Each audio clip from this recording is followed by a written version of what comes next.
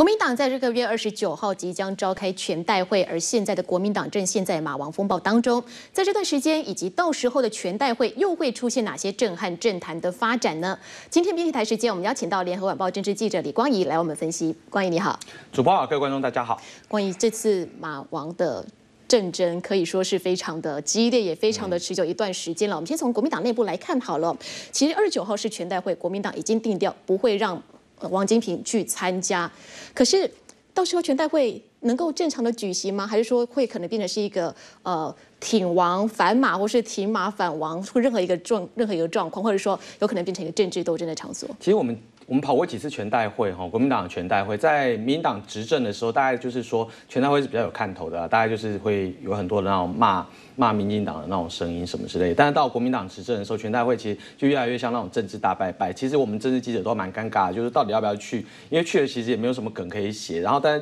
不去的话又感觉那么多人去，大家都去了，然后到底要怎么样？但是显然这种情况今年不会发生，因为全代会在举行之前，它其实就。已经很精彩，在这一次的事情之前，其实就有一些不一样的风声传出来，比如说。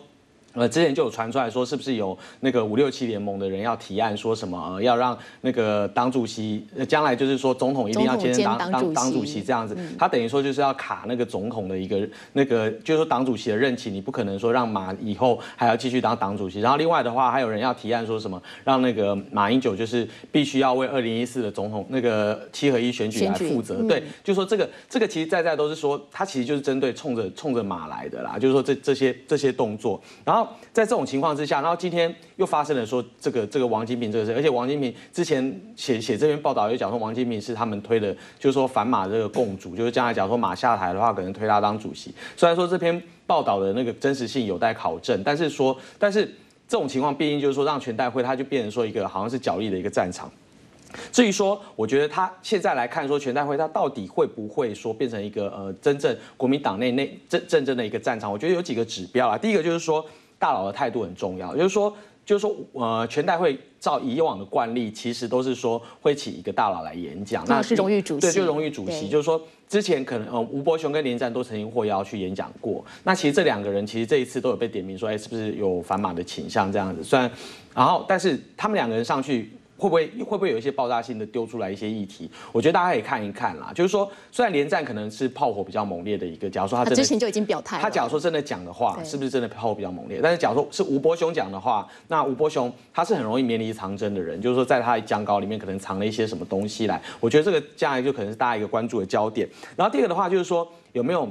零星的，就是说所所谓党代表，我们现在看到一些什么联系的党代表，或是地方派系的一些党代表什么之类的，他们会放炮，或是说他们有一些呃炮轰党中央这样的情况。因为我们知道说国民党的那个中常会那个全代会基本上是开放的，所以到时候他们炮轰党中央，这个这个画面可能就会赤裸裸在大家的面前出现。而且我觉得重点是啊，就是说以前全代会的时候。那个主主持议事的人，基本上都会把这些炮轰的场景，基本上就是搓掉，或者是说一些提案什么，尽量能搓的尽量搓掉。但是现在情况已经变成这样子了，主席团主持议事的主席团的人还愿不愿意做这样的事情，我觉得也很难说，是他们心里面可能也也真的是有所属，然后让就放任这些人发言。我觉得这个也就是党中央能不能 hold 得住，我觉得这是第二个观察指标。我觉得第三个比较重要的是说，到底有没有那种，就是刚刚主播有讲的，就是说有没有那种大规模的势力会在这当中。那个集结，就是说借由全代会这次可能就是说集体的发难，提出了一些重大的提案或是什么之类。我们现在私下了解是说，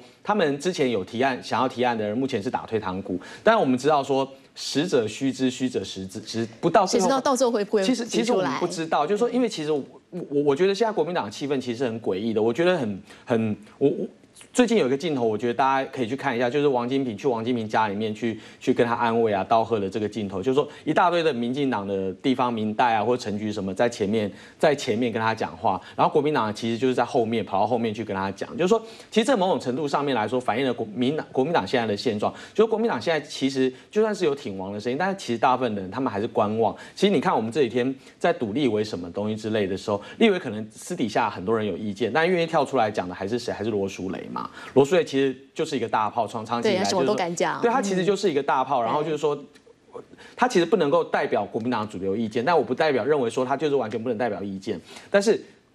访问他代表性其实是有问题的，但是这时候，这但是其他的国民党立委，其实他们大部分是不愿意讲话的。那这些不愿意讲话的立委，显然他们并不是说我一定就是支持谁或不支持谁。其实大部分来说，我觉得是观望，因为接下来的话，我觉得还有一连串很多我们必须要去看的一些政治的动作，不管台面上台面下的，就是说包括明年的选举，或是院长的选举、副院长的选举，王金平到底能不能保住他的位置？其实这个这些新闻都不断的在流动，然后这些的新闻的流动，当然也会影响说这些立委他们要怎么样做判断，说他们下一步要怎么走，他们没有必要。要这么早的表态，事实上现在距离呃全代会大概还有两个礼拜的时间，两个礼拜可以发生非常多的事情，包括就是说马这个这个王金明的官司到底接下来怎么样，可能这两个礼拜里面会不会有最后的决定，其实也很难说。所以说